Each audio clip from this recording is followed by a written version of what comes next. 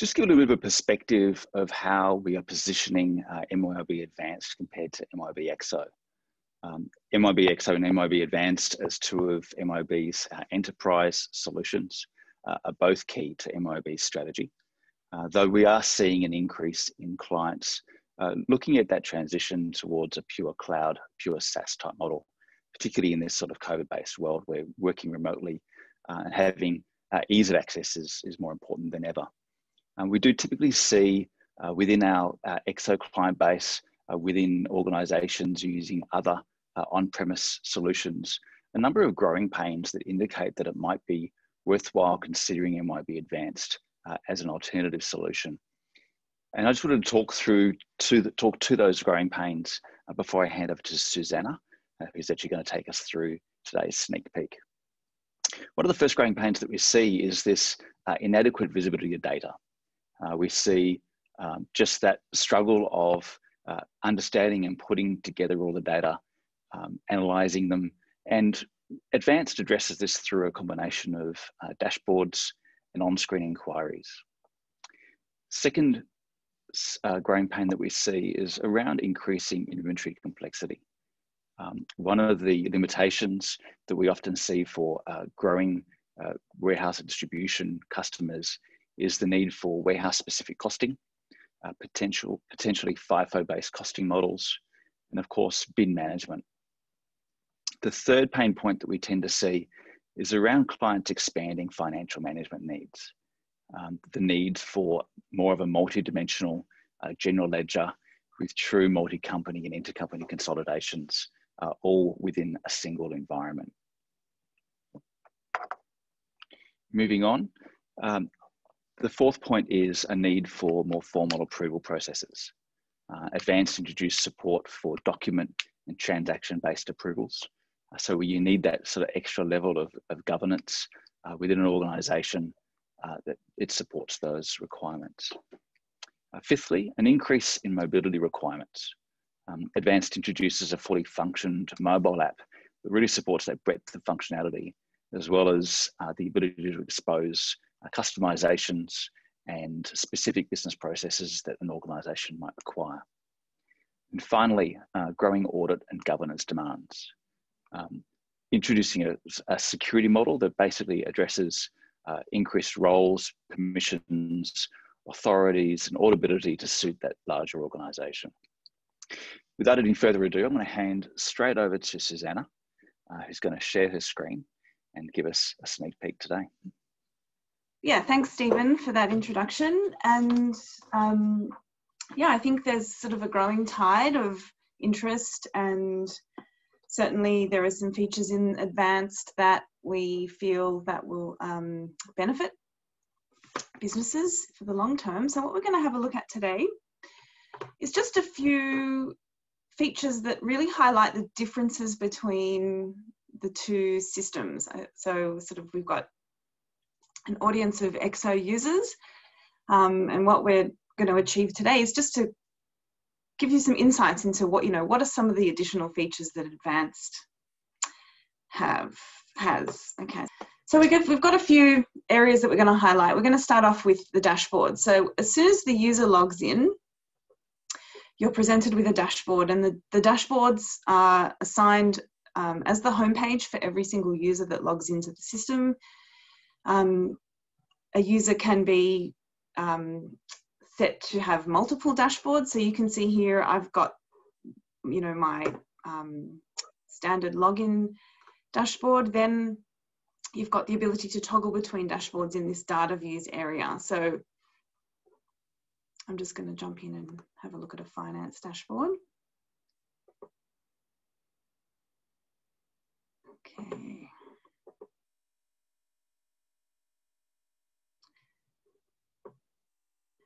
And so what we can do here is just have different metrics, different tiles running across the top. So relevant information for the key users based on role, based on user. So there's no restrictions. These are all customized based on your requirements.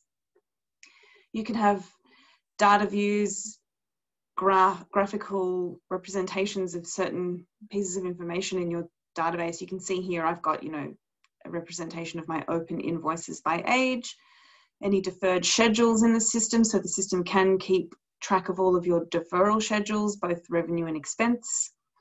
I can see any unreleased GL transactions here, so it's sort of real pertinent information for the finance role, any unreleased AR invoices. So really just a snapshot of, of what's going on in the system. Similarly, I've got an accounts receivable dashboard.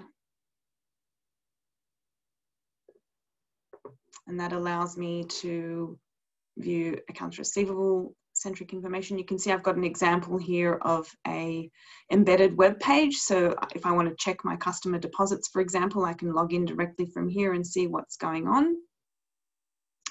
You've also got the ability to drill through.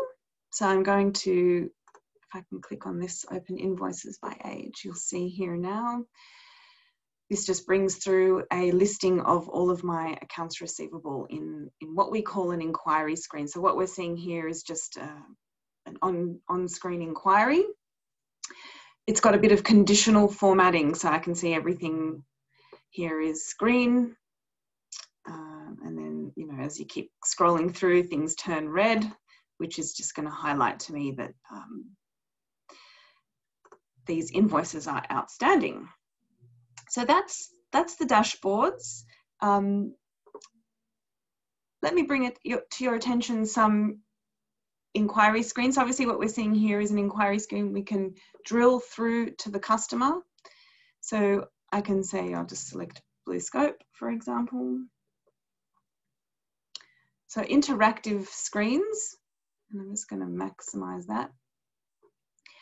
And obviously this is a customer record. I'm not gonna deep dive into this here, but you can see running across the top here a whole raft of tabs capturing lots of different, different information. You can see here, I'm able to pull through, now this is customer centric transactions. So I'll be able to see all, my, all of my, in this case, accounts receivable invoices against BlueScope Steel. And again, this conditional formatting is popping through there.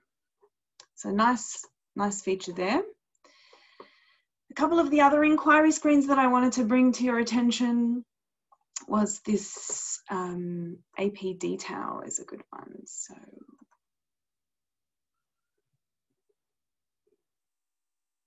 okay, just go to here.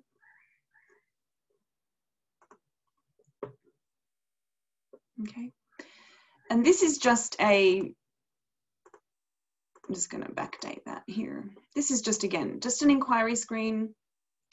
These are customized within the system, basically just joining uh, or allocating or selecting different fields that you want to appear on the screen. So we, we can do that with you. Um, this is showing, you know, all records of all of my uh, accounts payable outstanding with the key fields that I selected here in this date range. What we can do here though is we're able to actually save this as a pivot. So all of those features that we're used to in Excel have been brought into advanced. So I've just got a simple example here where I'm showing this by supplier now. I've pivot, pivoted this data and I can see here's my supplier and I'm able to see running across the top here a projection of what's due per supplier. So this is just an example of what's um, possible with this pivoting. Obviously, if you're familiar with that pivoting feature, you can select your rows and columns and go from there. You can see a total running on the bottom there, giving me a total view of what's going is what's projected to be paid across the financial year.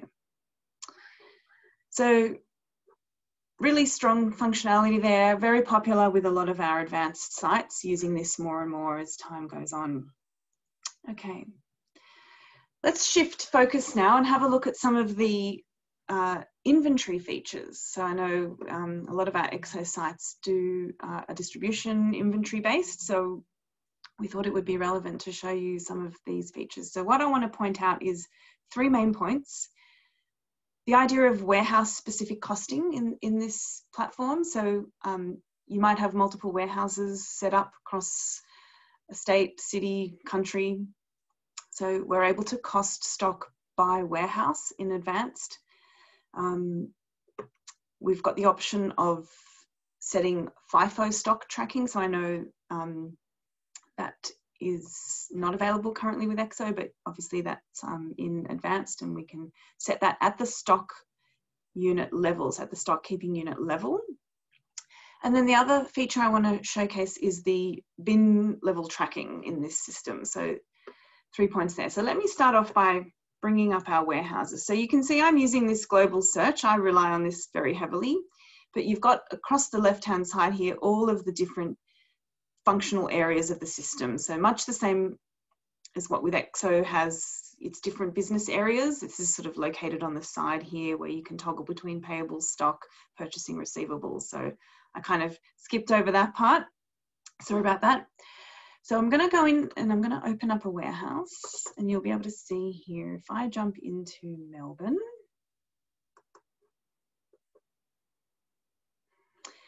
So the warehouse, lots of default information here. You know, do I want to allow on the fly entry or do I want to lock it down so that a particular item can only be transacted against a particular warehouse? I'm able to set default receiving and shipping locations. And you can see down here is the location table. Okay, so that is going to be where you outline or specify your um, bin map in your warehouse. Okay, so you can see on my example here, I've got row one, column one, and it just keeps going and going. I'm just flicking across the page here to go through all of my different bin locations. Then what you can do is on the actual individual item, you assign its default warehouse, its, and within that warehouse, its default bin location. So that's done, so the, the bin location specification is done on each warehouse. So you will notice if I then flick through, go to my next warehouse, I can see Melbourne store can have a completely different location table um, Perth again has a different location table. So that is done for each warehouse. I'm going to go into my stock items now.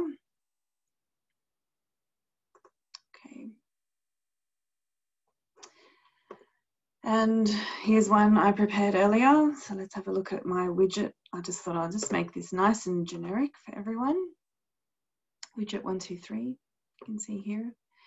I can assign a default warehouse. You can see Melbourne default issue from default receipt to. Okay, and that's that's the default location that will appear on all of my transactions. If that's blank, then the user will have to select the relevant warehouse. Okay. I can see here I've got price cost information and I've got an average cost here. This item is tracking at average cost. What I will point out here is the valuation method, okay? This is currently set to average, but I can select between or from standard, average, FIFO, and specific. Okay, so that can be set on the item class, which is the equivalent of primary groups in EXO. You set the default valuation method for this group of items, but then on a case by case basis, you can actually change it as well. Okay. The FIFO stock tracking has a lot of other workflows associated with it um, which I'll, I won't go into today.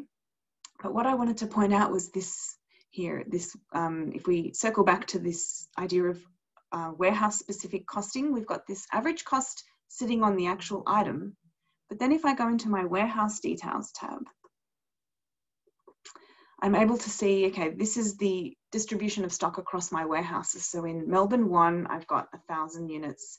In Melbourne, I've got 500 if I click on my Melbourne warehouse, I'm able to see warehouse information specific to this item. If I go into my price cost information, I can see that the average cost for this warehouse was $10 for this item. If I click on Melbourne 1, I can see that my average cost for the Melbourne 1 location is $12. So the system, the key takeaway message there is the system will track warehouse specific costing, okay?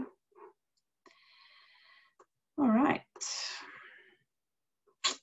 I'm going to close out of there. All right, so the next item on my list to take you through, so shifting focus again, is the concept of approval processes. Sorry about that. Close there. So advanced really sort of takes the approval workflow to the next level.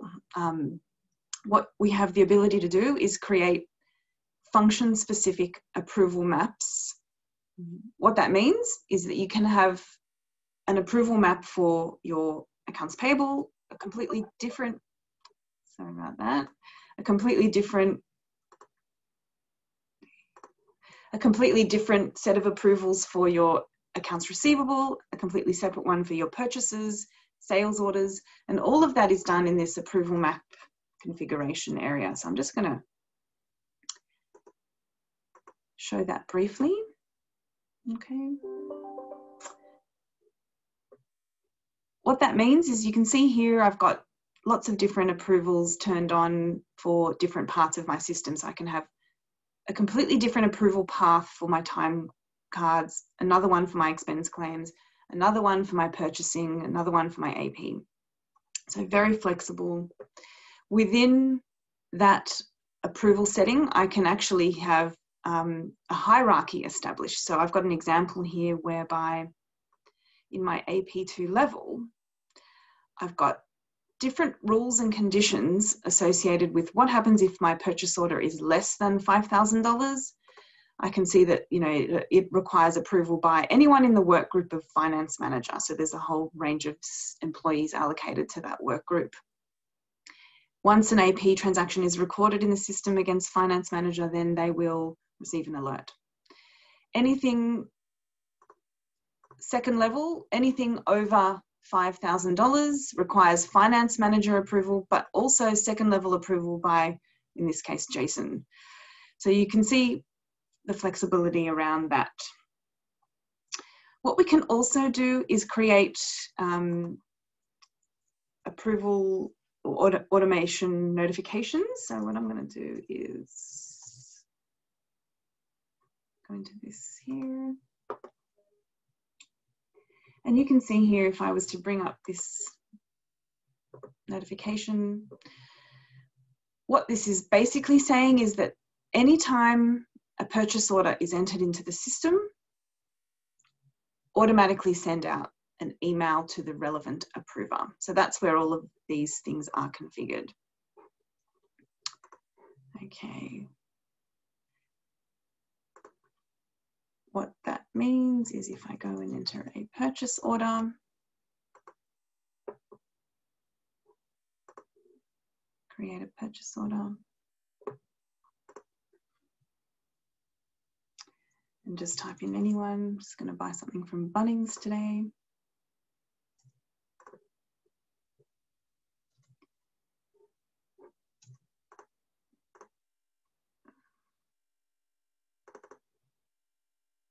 Okay, and if I save that,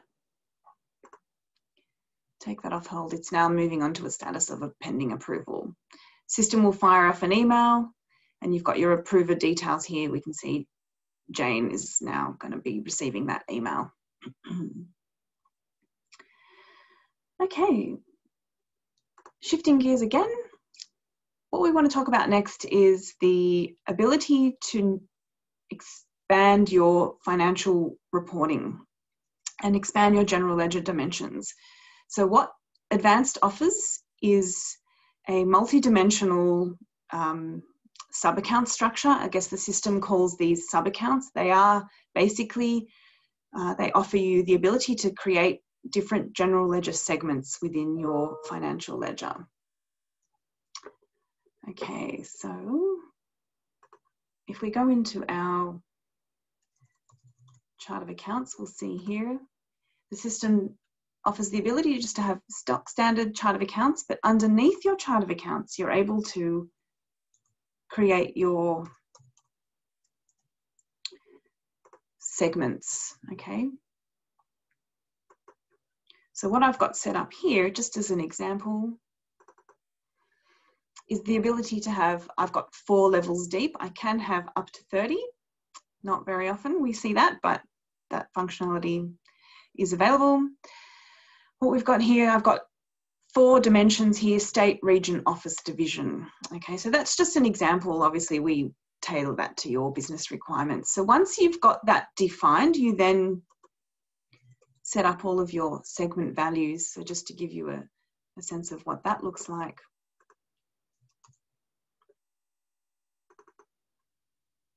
So underneath state, I can set up all my states. Region, this is my regions across each state. And within that, I've got my different offices. And then of course, division, just kept it very generic there. So the takeaway message here is that when you start transacting in the system, you're then able to assign transactions, APAR journals, any, any transactions to any combination of these uh, sub-account segments in the system.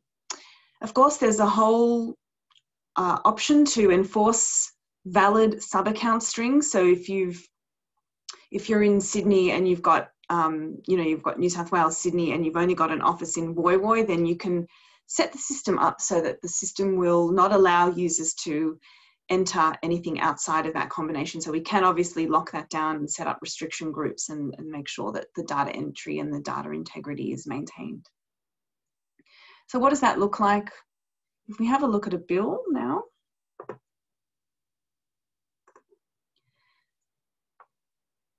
okay, and I'm just gonna key in something nice and simple to Officeworks.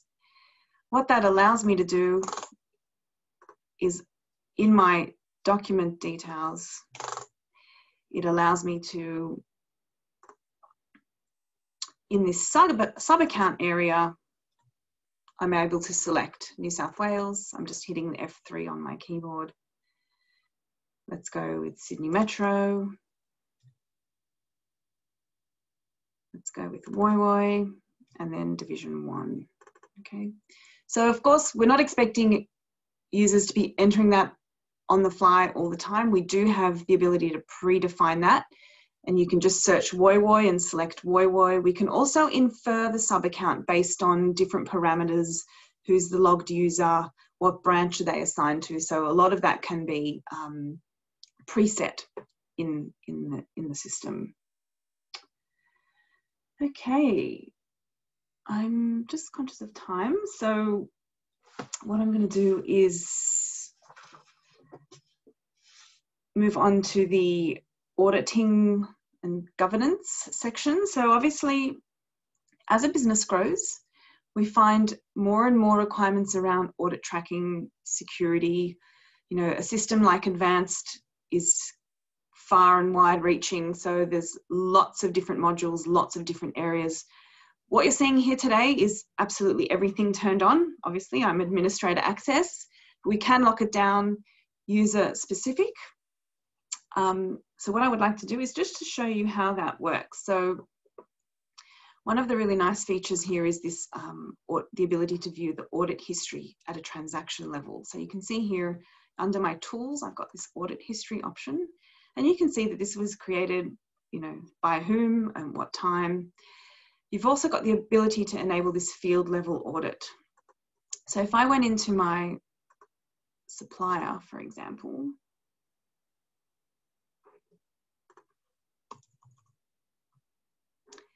and good old Bunnings. And I went into my audit history. I'll be able to get a snapshot of exactly what's happened. So you can see all the different changes that have occurred and the date that they've occurred. So if I just expand that, I'll be able to see that, okay, Susanna, she's updated the bank account details for this supplier. When that occurred, I'll also be able to see that, oh, yep, she's modified the email address as well. So full audit tracking.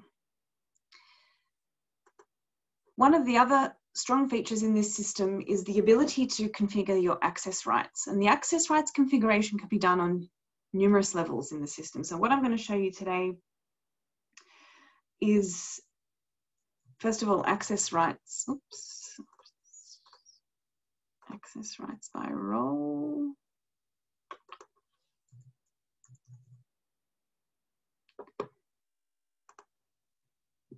So this screen allows me to, you know, select a role.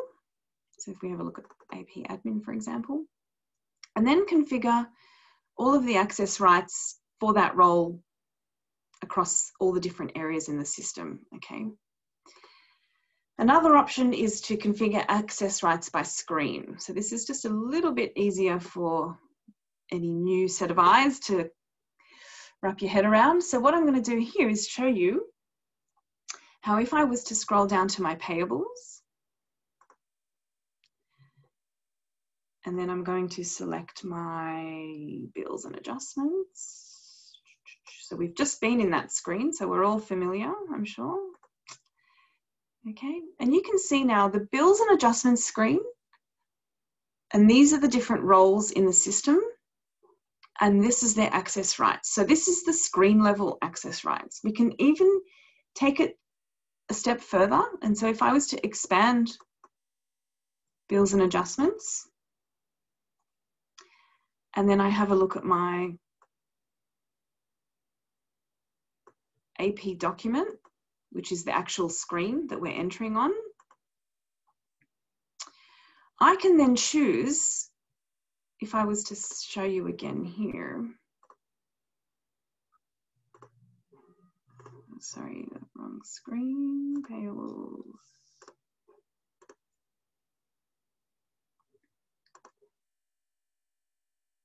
You'll notice that up the top here, we've got the button actions and you can see all these actions are grayed out because this is on hold. But the access rights by screen configurator allows me to set who can access the approve, who can access the reject option. So very detailed security and access control within the system. We, we call that field level security. Um, and you know some of our clients are using that especially you know if you want to lock down the ability to change bank account details make that visible make that read only all of those options can be configured in one of these access rights screens. Okay, so that sort of brings my presentation to a conclusion. Um, I might hand over back to Stephen, and that's just a bit of a snapshot of, of advanced. Um, and yeah, reach out if there's any questions. Thank you.